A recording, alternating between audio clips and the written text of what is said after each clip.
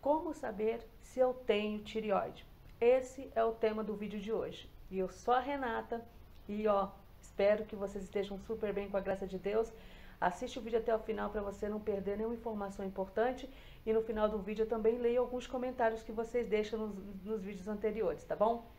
Olha, é bastante comum a gente sempre ouvir que algumas pessoas questionarem em relação se tem ou não tireoide. Gente, é preciso entender que todos nós temos tireoide. A tireoide ela é um órgão que faz parte do nosso corpo, assim como o nosso coração, né? É, que é leve, enfim. A tireoide é uma glândula que tem o formato de uma borboleta. Ela está localizada na parte inferior do nosso pescoço. Ela possui dois lóbulos ligados pelo ismo, istmo, que é a frente da traqueia e logo abaixo da laringe, também conhecida como porno, porno de Adão, né? Chama de porno de Adão. Uh, mas como saber se você tem tireoide, né? Portanto, essa pergunta, né, é, em relação a como saber se eu tenho tireoide, ela não está correta. Afinal, como eu já falei, todos nós temos a tireoide. Mas, enfim, vamos saber um pouco mais, né? É, é em relação a, a, a, se a pessoa tem algum problema na tireoide, é um questionamento que é muita gente que a gente faz, né? Então vamos falar sobre essa glândula.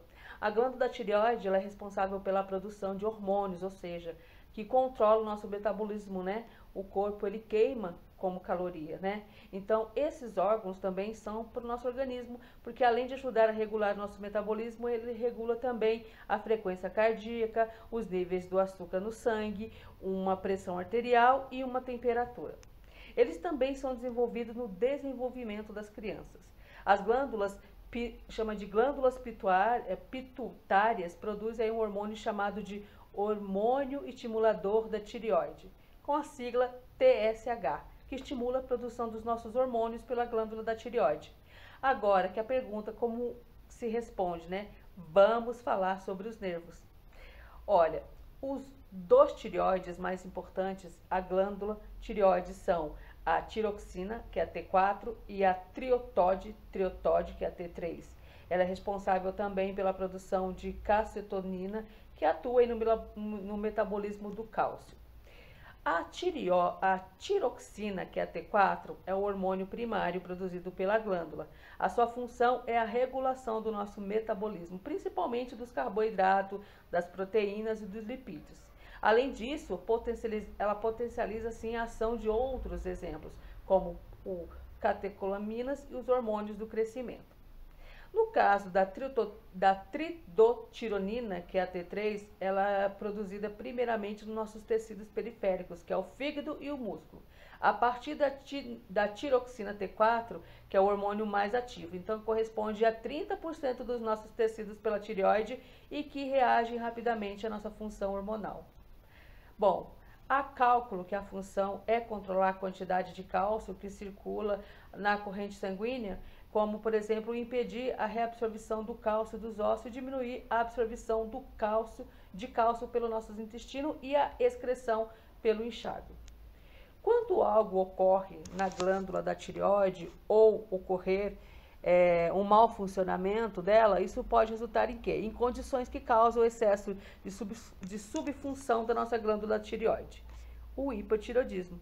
Ele ocorre com uma glândula da tireoide quando está produzindo uma quantidade de sangue. Isso acelera muitas funções do nosso corpo, como o metabolismo e a frequência cardíaca. A causa mais comum de hipertireoidismo é a doença de Graves. A doença de Graves é um problema com o sistema imunológico, que é uma doença de origem autoimune, que faz com que a nossa glândula ela estimula e produz mais células que a hipertimicas, que o necessário. É hereditária e é mais comum nas mulheres do que nos homens. O hipotiroidismo ele aumenta o risco de osteoporose. Alguns sintomas comuns que ocorrem devido ao excesso hormonal, que é a intolerância ao calor, o suor excessivo, nervosismo, movimentos intestinais aumentados, frequência cardíaca acelerada, acelerada e palpitações, perda de peso, falta de concentração, fadiga, fraqueza, distúrbio do sono, mudanças nos, que pode nos incluir aí abulamento dos olhos, que é o vermelhidão, né? Entre as causas mais comuns de hipertiroidismo está aí que, como eu falei, a doença de Graves, adenoma funcional, o bócio multinodular tóxico, ingestão de, de qualidade da tireoide, a secreção anormal da TSH e tireoide, que é a inflamação da glândula da tireoide, e também a ingestão excessiva de iodo. Vamos falar então em relação ao tratamento do hipotiroidismo. Normalmente é recomendado o uso de iodo radioativo que vai destruir aquela glândula da tireoide. A tireoide também pode ser cirurgicamente. A maioria das pessoas vai começar a tomar os hormônios da tireoide em forma de terapia. O uso de antitiroidiano pode também reduzir a quantidade de tratamento da tireoide, que também é bastante comum para o hipotiroidismo. A tireoide ela não, ela não produz quando ocorre. Uma das causas é a tireoide de Hashimoto, que é o próprio nosso sistema de defesa da tireoide para as células das doenças autoimunes. Então, da doença autoimune, da tireoide, o que é o sistema de tireoide não adequado. Também pode ser causado por problemas com glândulas pituitárias responsáveis pela produção da tireoide do hormônio estimulador.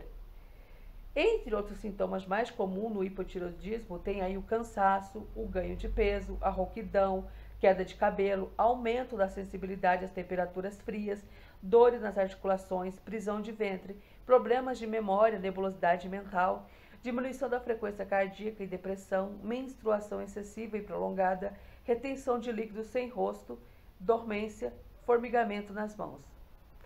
É importante sempre, sempre vocês estarem aí verificando com o seu médico para que ele possa aí estar é, tá tratando de uma forma saudável para que você aí lembre-se que todos nós temos sim tireoide, tá bom? Outra coisa muito importante que muitas pessoas também perguntam em relação a, a a tireoide é o exame.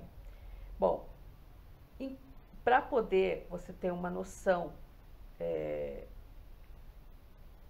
é, em relação a esse exame, né? Que é um, um teste. É importante fazer um teste, né? É, para você saber se realmente você tem algum problema na tireoide. Em casa mesmo, diante de um espelho, você pode fazer um teste. Incline a cabeça para trás, tome um gole de água e ao engolir você examine seu pescoço abaixo do porno de Adão e acima da clavícula. Observe se você detecta alguma protuberância ou algum caroço. Caso positivo, pergunte ao seu médico de confiança ou ao endocrinologista, né, que é o médico especialista nessa área, a possibilidade de você fazer um teste. Se o seu médico suspeitar de problemas da tireoide, o exame de sangue pode ajudar a solucionar o problema. Esse teste mede o nível do hormônio estimulador da tireoide. Se ele estiver alto, significa que a função dela está muito baixa né? Então, é hipotiroidismo. Se ele estiver baixo, normalmente significa que a tiroide está hiperativa, então é o hipertireoidismo, tá bom? Espero muito que tenha gostado desse vídeo.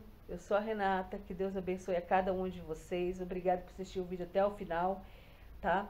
Já deixa aquele like que ajuda bastante, gente. O like ajuda muito aí com o meu trabalho, o seu comentário. E se você está vendo a primeira vez esse vídeo, está gostando do tipo de conteúdo, já se inscreva aqui no Artrite Reumatoide Muito Além das Juntas, porque tem vídeo todos os dias aqui. Sem contar também nossas redes sociais, que vai estar aqui na descrição do vídeo. Quer participar aí do nosso grupo de apoio? É só você clicar aqui embaixo no link de convite, você tem acesso, tá bom? A nossa nosso grupo de apoio no WhatsApp, ó. Combinado? Vamos ler mais comentários? Será que tem mais comentários? Vamos lá então. No vídeo, o que é doença renal crônica? Um beijo para Terezinha Zaia, que ela falou. Gostaria que você comentasse sobre artrite reumatoide e também sobre é, eficiência renal crônica. Eu acho que é essa daí, doença renal crônica, não é? Pois tenho essas duas enfermidades, estou com muitas dores nas pernas, punhos, obrigadas, beijo. Olha, Terezinha, um beijo para você. Aqui no canal já tem vídeo falando sobre artrite reumatoide, tem a live que eu fiz também. Então é só dar uma fuçadinha nos vídeos aqui, porque são vídeos recentes, tá bom, Terezinha? E você está falando sobre é, deficiência renal, eu vou estar tá dando uma olhada também para estar tá fazendo um vídeo para você, tá bom? Um beijo. Obrigada, fica com Deus, tá bom? Vamos ver mais uma aqui. No vídeo Esclerose Subcondral, um beijo para Luciana Borba, que ela falou: fui diagnosticada. O médico pensava que seria devido a uma queda, mas eu nunca, nunca vai para machucar a sacro, acho que é isso. Então ele fez exame específico e receitou colágeno e cálcio. Ele observou os meus olhos e unhas que sempre ficam quebradas com rachaduras. Disse que os olhos ficam vermelhos e as unhas deformadas. Um beijo para você, Lu, a Luciana Borba. Um beijo para você. Obrigada por compartilhar aqui com a gente. Vai dar tudo certo, tá bom? Fica com Deus. Obrigada pelo carinho. E é isso, gente. Mais uma vez, obrigada a cada um dos meus inscritos. Que Deus abençoe grandemente. Que a gente se vê no próximo Artrite Reumatoide Muito Além das Juntas. Tchau, tchau.